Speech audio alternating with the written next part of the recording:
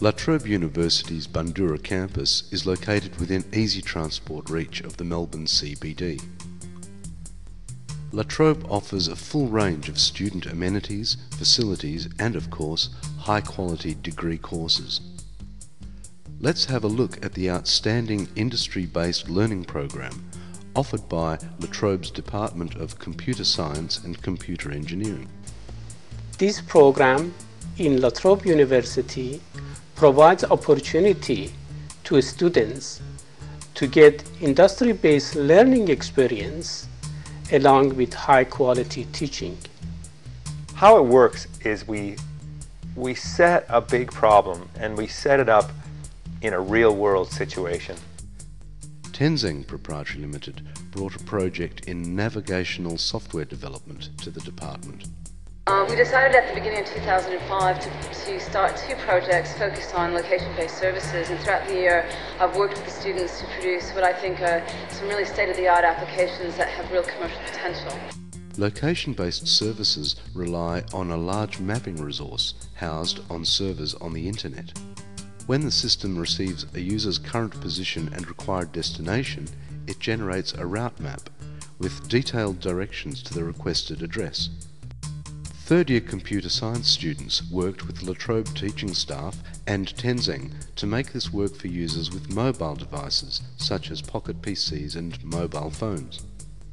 The students were asked to build a fully working application which could install and run on three different mobile platforms. You have selected new address.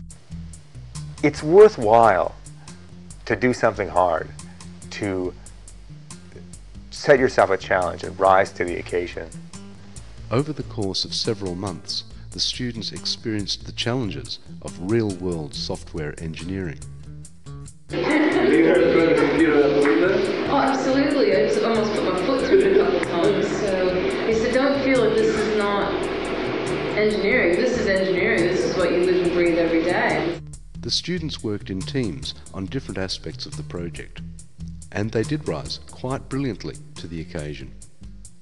They delivered all of the components of a full working solution and demonstrated it in action on real devices. It is pleasure to see that the students work in a team, uh, learn the skills and gain the confidence and experience to solve the problems put to them in a group and provide a solution to the expectation of the client.